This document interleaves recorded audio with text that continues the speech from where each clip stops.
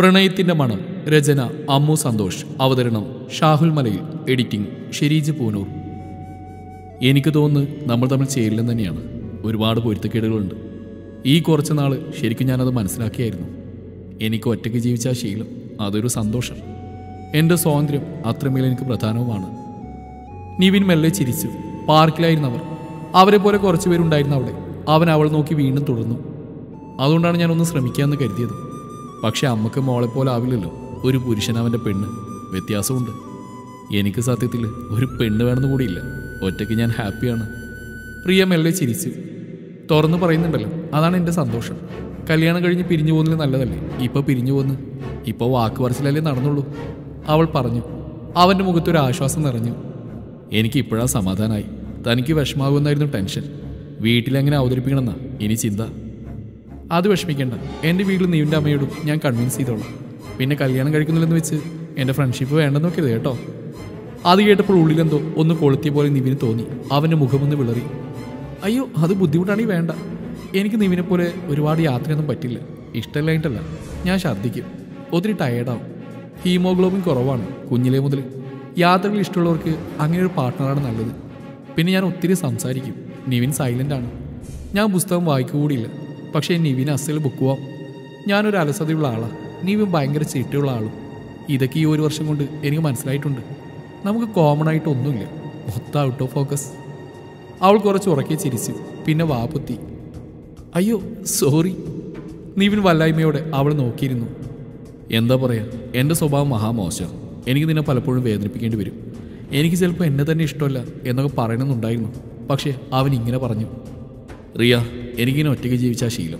അമ്മ നിർബന്ധിച്ചപ്പോൾ തോന്നി എന്റെ ഇൻട്രസ്റ്റ് ഒക്കെ ഉള്ള ഒരാളാണെങ്കിൽ കുറച്ച് ഈസി ആവുമല്ലോ നോക്കാമെന്ന് പക്ഷേ ഇതിപ്പോൾ ഞാൻ ഓർത്താണെങ്കിൽ താൻ സൗത്ത് അവന്റെ മുഖത്ത് ചിരി വന്നു. അത് ശരിയാ എന്നാലും ഒറ്റയ്ക്ക് ജീവിക്കേണ്ട അമ്മയ്ക്ക് സങ്കടാവും. അതുപോലെ വല്ല അസുഖം വന്ന ആര് നോക്കും? നമുക്ക് മിണ്ടി മറിഞ്ഞിരിക്കാനൊക്കെ ഒരാൾ വേണ്ടേ? അസുഖം വന്ന ആശുപത്രിയിൽ അഡ്മിറ്റ് ആവും. കാശ് കൊടുത്താൽ കെയർ ചെയ്യാൻ നൂറാളെ കിട്ടും. അവർക്ക് സ്നേഹം ഉണ്ടാവില്ലല്ലോ. അവൾ മെല്ലെ പറഞ്ഞു എനിക്കത് വേണ്ടെങ്കിലോ? അവന് ചിരി എന്നാലും ഇടയ്ക്കെങ്കിലും തോന്നില്ലേ? നമുക്ക് സ്നേഹിക്കാൻ ഒരാൾ സങ്കടം പറയാൻ ഒരാൾ എനിക്കൊരു ഫ്രണ്ടുണ്ട് പേര് നിഷ. നിങ്ങളുടെ എല്ലാ സൗകര്യവും ഉണ്ട്. ട്രാവലറാണ് ബുക്ക് ഭ്രാന്തുണ്ട് കൃത്യനിഷ്ഠതുണ്ട്.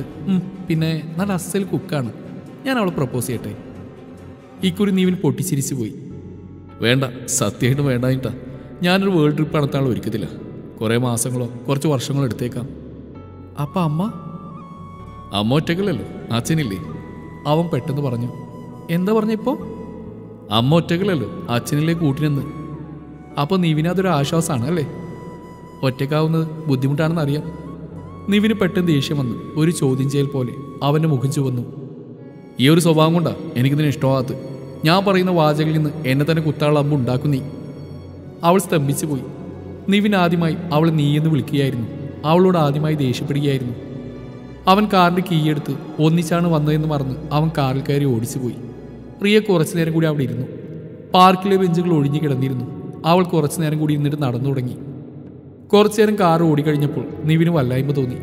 അവൾ ഒറ്റയ്ക്ക് വിട്ട് വരേണ്ടിയിരുന്നില്ലെന്ന തോന്നൽ ശക്തമായപ്പോൾ അവൻ തിരിച്ചെന്നു ആരുമില്ല. അവൻ അവളുടെ ഫോണിൽ വിളിച്ചു. എന്താ നിവിൻ? ആ ശബ്ദം ശാന്തമായിരുന്നു. സോറി ഞാൻ ഇപ്പോൾ റിയ എവിടെയാ? വീടെത്താറായി ബസ്സിലാണ്. വെക്കട്ടെ? കോൾ കട്ടായി. എത്ര ശ്രമിച്ചിട്ട് ഒരു കുറ്റബോധം അവന്റെ ഉള്ളിൽ നിറഞ്ഞു. പിറ്റേ ദിവസം അവൻ റിയയുടെ വീട്ടിൽ ചെന്നു. റിയ ഹോസ്പിറ്റലിലാണല്ലോ മോനെ. നിന്നെ വിളിച്ച് പറഞ്ഞില്ലേ? റിയയുടെ മുത്തശ്ശി ചോദിച്ചപ്പോൾ അവന്റെ ഉള്ളൊന്ന് പിടഞ്ഞു. ഇല്ല എന്താ സംഭവിച്ചത് ഇന്നലെ ബസ്സിൽ നിന്ന് ഇറങ്ങി ക്രോസ് ചെയ്തപ്പോൾ ഒരു ബൈക്ക് വന്ന് ഇടിച്ചതാ. കാര്യമായിട്ടൊന്നുമില്ല. പക്ഷെ അവൾ അനീമിക്ക ആയതുകൊണ്ട് അഡ്മിറ്റ് ആക്കി. ഏത് ഹോസ്പിറ്റലാണെന്ന് ചോദിച്ചറിഞ്ഞ് അവൻ അവിടേക്ക് ചെന്നു. ഒന്നുമില്ല നിവിൻ കാലിത്തിരി മുറിഞ്ഞു കയ്യിൽ കുഞ്ഞു ഫ്രാക്ചർ അതിനായി ഇവരൊക്കെ കൂടി അവൾ ചിരിച്ചു. അവളുടെ ബെഡിനരികിൽ അമ്മയും അച്ഛനും ഉണ്ടായിരുന്നു. അവളുടെ മുറിയിലും പുറത്തുമായി ധാരാളം പേര് സുഹൃത്തുക്കൾ ബന്ധുക്കൾ അങ്ങനെ. അവൻ അവൾ ഒറ്റ കിട്ടിയില്ല. ഒന്നുകൂടി മാപ്പുറാൻ അവന് തോന്നി. അവളുടെ കണ്ണിൽ ദേഷ്യമൊന്നുമില്ല. എന്നോട് ദേഷ്യപ്പെട്ട് ഒറ്റയ്ക്ക് പോയതെന്തേ എന്ന ചോദ്യവുമില്ല.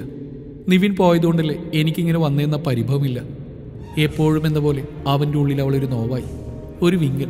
അവനവിടെ നിന്നു. മോൻ പൊയ്ക്കോളൂ. ഇന്നുകൂടി ഇവിടെ കിടത്തും. കുറച്ച് ടെസ്റ്റ് റിസൾട്ട് കിട്ടാനുണ്ട്.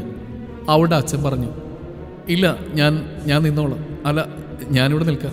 എനിക്ക് റിയോടും സംസാരിക്കണം ഇഫ് യു ഡോണ്ട് മൈൻഡ് അയാളുടെ മുഖത്ത് ഒരു ചിരി വന്നു. ഓക്കെ അച്ഛൻ മുറിവിട്ട് പോയി.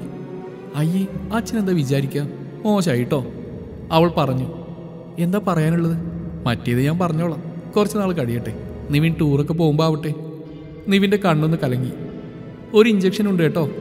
നേഴ്സ് വന്നപ്പോൾ റിയയുടെ മുഖം ചുളുങ്ങി. ഇതിപ്പോൾ എത്രാമത്തെയാ? മതി അവൾ ദയനീയമായി പറഞ്ഞു. ഹസ്ബൻഡാണോ ഒന്ന് പിടിച്ചേ കക്ഷിയെ. ആൾക്ക് ഇഞ്ചക്ഷൻ ഭയങ്കര പേടിയാണല്ലോ.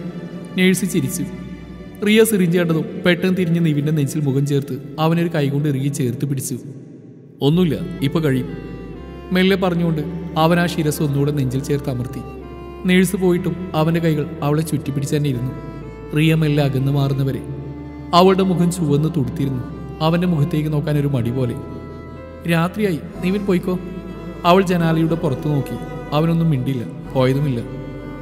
പശ്ചാത്താപമാണോ അതോ പ്രായശ്ചിത്താണോ? അവൾ ചിരിയോടെ ചോദിച്ചു.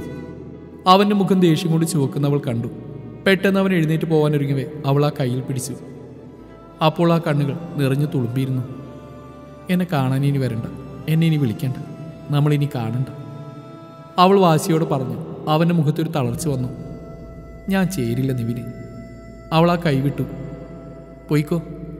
അവൾ വേഗം അവന് പുറന്തിരിഞ്ഞു കിടന്നു. ആ ഉടൽ കുലുങ്ങി വിറക്കുന്ന. അവൻ കണ്ടു. കരയുകയാണെന്ന് മനസ്സിലായപ്പോൾ സ്വയം ശപിച്ചുകൊണ്ട് അവൻ അവിടെ ഇരുന്നു.